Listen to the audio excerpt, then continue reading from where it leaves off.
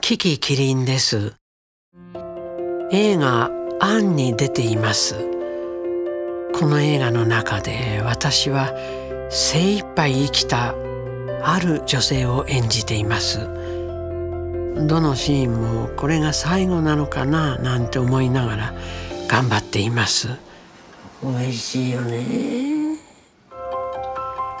あなたにはやり残したことはありませんか？